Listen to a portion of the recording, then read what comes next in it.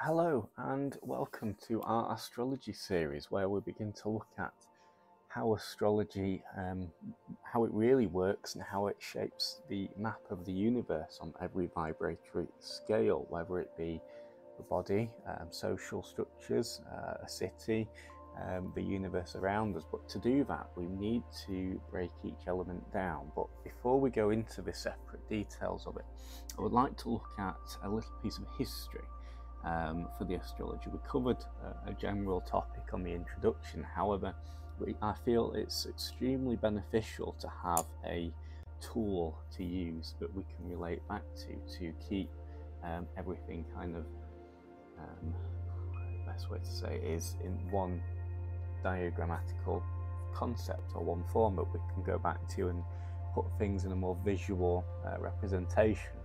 And the one we're going to use is um, the Kabbalah or the Tree of Life.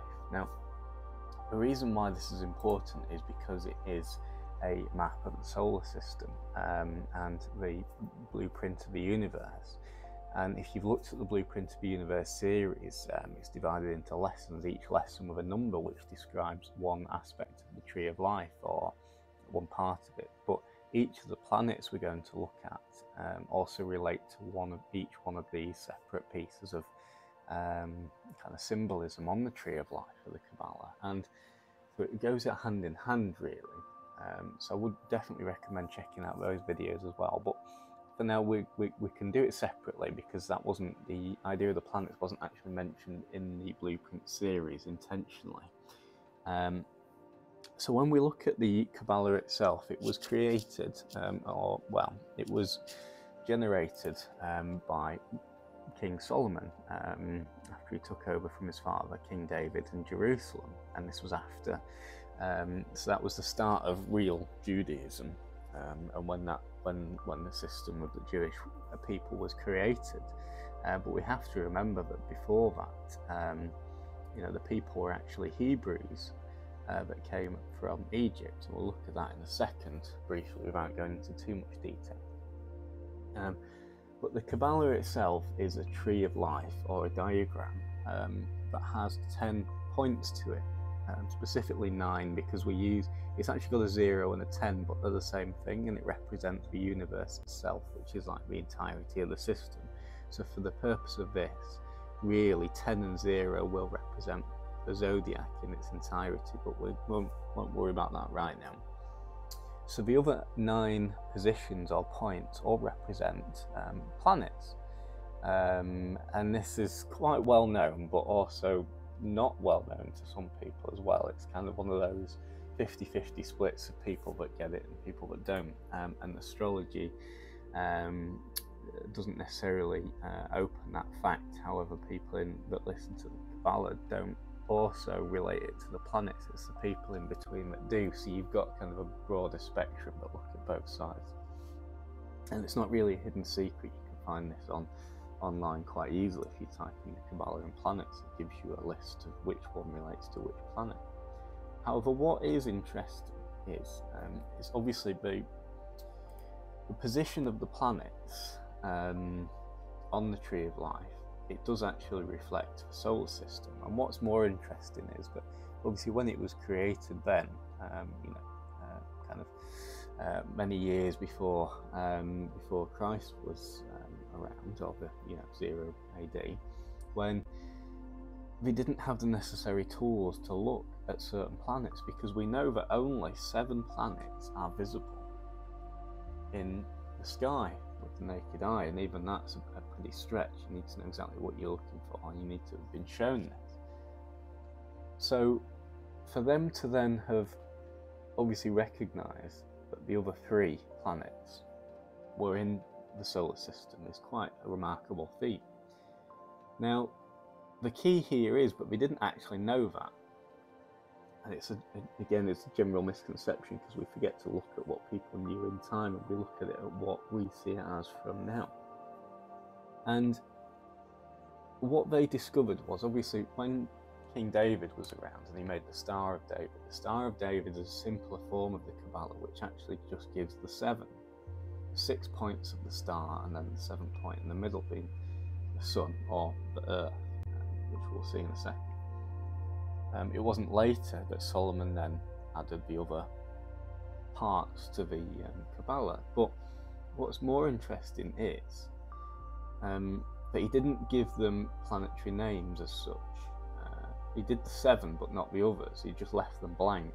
But he knew that there were certain aspects or certain anomalies that happened at certain periods of time that didn't weren't explained by the other seven, and kind of behaved in certain ways to allow him to have these other three points um, that weren't visible by the naked eye, and he knew they were there because of a cause and effect situation. And so he put the spaces in. It wasn't until later on when we discovered things like the telescope or um, ways of pla- uh, looking into the heavens a little bit more accurately. For example, like um, the, the, looking glass was created um, in the Renaissance period. But these were, these missing elements were named and put into the solar system and were then added into the blank positions of the Kabbalah later on. So it's extremely important we know that to get that kind of misconception out of the way that actually, yes, he was aware that there was these spaces, these effects or these planetary bodies in the world because he'd seen it or understood it in other vibrational levels such as the human body, the human mind, um, and, and the world around him.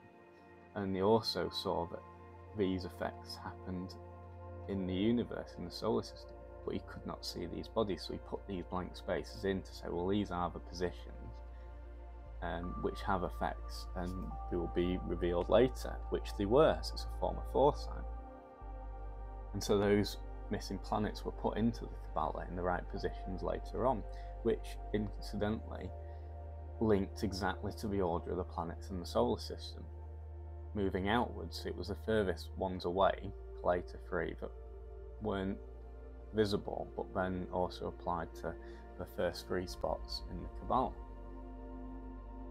Um, this happened actually again later on with. Um, um, let me think about this. I think it was called um, Uranian astrology, where uh, it was a, a, more detailed thing of looking at the asteroids and kind of comets and giving them names rather than the uh, planets, which are much smaller. And in those times, when that system was created, equally, when they were looking at astrology and certain events happened at certain times, at certain periods, repeatedly on a consistent cycle, the individual who came up with the Uranian um, astrology, it's not to do with the place, it's to do with the planet,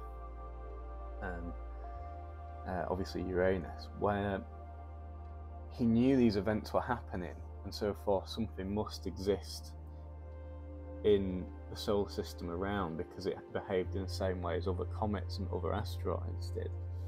But he could not see it, so he had these blank spaces that he gave names to. And it was later on that the asteroids in question were found when the appropriate um, scientific equipment was available. And these names of missing spaces were given to those asteroids. So again, it happens. We have um, it's like the theory side where something must exist because these results are constantly occurring repeatedly and frequently in the same fashion in the same place, but we don't have the equipment to monitor it. And it's the same with quantum physics. Often we can't see or don't have the equipment to explain things like string theory, but we know it happens and it's from a cause and effect point of view. So that's part of why the Kabbalah is so important because it obviously worked even without the concept of um, knowing the planets were out there, specifically the last three. So it does work and it does have extremely accurate um, kind of uses. Uh, but equally, at the time, we must also accept that we were limited by the science of the time back then. So let's just take that step back then. So we look at the Kabbalah um, and we see the position of the planets. And the numbers of the um, positions on the Tree of Life give a direct um, map of the solar system, all the way from 1 to, to 9 um, in order. However, what isn't true is that the Sun, which is given a number 6 position, is actually um, the planet Earth and not the Sun. because what we need to look at is when we look at astrology, there's obviously two types where the planet is the center of the attention or the sun is the center of the attention. Obviously, in the solar system, the sun is the center of the attention, being in the center of the solar system. However, when we're looking at the effects of the planet or the solar system on the human body on Earth, then we must use Earth as the um, focus of study, which is actually why originally um, there was two types of um, astrology or solar systems, because we all know that um, during uh, the Renaissance period, Copernicus obviously said, actually, no, the Earth revolves around the Sun. Yes, but it actually didn't know that in previous times. They knew that all the planets revolved around the Sun because the Kabbalah puts the Sun in the centre of the Tree of Life and all the other planets rotate around it. However, if we put them in order, coming away from the single point, which would be the kind of uh, shells of the um, solar system moving outwards, planet by planet, away from the sun, then we get a different order where actually Earth is number six, or the position of the sun, which is now the centre. So one diagram actually represents both versions of the solar system in history. Now, the reason the Earth centered system was taken in like the Greek period, the Hellenistic uh, version, is because we were trying to relate it back to humankind. Everything related back to humankind, which meant humankind was the perceptual centre of existence, which is fine. It's not a true representation of physics, but when we're looking at how things affect certain objects and concepts, the centre or the affected body must always be in the centre. In your life, ego puts the human being in the centre. You are at the centre of your life, even though we know you are not. You are moving around the sun just like everybody else. But it's that perceived center of reality. And the Kabbalah does that in both ways. It puts the sun at the center in one way of looking at the, the diagram, but when we look at it in number order, numerical order from 1 to 10, we actually find that 6 is the, is the planet Earth, and Earth is the center of our understanding and therefore can be placed at the center of the system. So when we look at the Kabbalah, the sun and the earth are interchangeable in terms of um, affecting qualities. It's very important to look at when we move on. Um, and then, yeah, so basically all the planets or the um, locations on the Kabbalah are representation of planets, and it actually very accurately um, tells us how each planet behaves or affects us on planet Earth as a human body because of various qualities which we'll look at individually as we move on. But what's also then important is we need to look at where that came from because, yeah, we saw that it came from David, who created the Star of David representing the seven. However, we have to remember that Judaism was born from the Hebrews, and the Hebrews were actually part. It wasn't actually just the Hebrews that moved from Egypt it was a combination of the Hyksos people, and the Hyksos people were a blend of Hebrews from um, Mesopotamia and Egyptians from Egypt that had begun to unify under um, King um, uh, Akhenaten, who started to blend the two systems together of the Egyptian um, and the mysticism and the Egyptian system of understanding and the Hebrew system of understanding brought by Abraham. And it created the Hyksos people and this new concept of um, Aten or Akhenaten uh, from, from him. And it's that system that moved and developed over time, and when settled in Israel, created um, Judaism. And so the knowledge that was passed on to create the Kabbalah is a union of both Egyptian and Hebrew methods of thinking. And that's why we have words and symbols, because the Egyptians spoke in symbols and pictures and images, whereas the Hebrews used sounds and words and um, text. And then you unify the two together and you get the Kabbalah, which is a representation of um, both because when we look at the Kabbalah as a whole, it's got images and letters and sounds all merged together to create a complete map of the universe. and that's what the tarot is. The tarot is Egyptian by nature, but we've added, uh, in a more modern sense, the words to it to understand it. And that's something we'll look at in the tarot system. Um, so yeah, so that's why it's so important um, to us, and why astrology can be linked to the Kabbalah in a very detailed and like-for-like manner.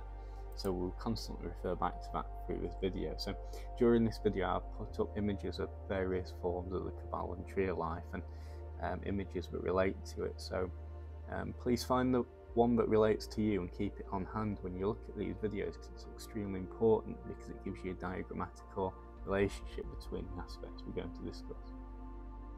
So I hope you've enjoyed. I hope it's opened some doorways and I hope it's closed some ones that perhaps were shouldn't have been open in the first place. And um, yeah, so we're open to discussion and uh, please like, share, and follow, and obviously leave a comment if there's anything else you want to discuss about that. We will do a full series on the Kabbalah at some point, um, but uh, time constraints mean we can only do one system at a time. So uh, bear with us and we will get there. But for now, let's uh, look at astrology and how it works. So thank you very much and goodbye.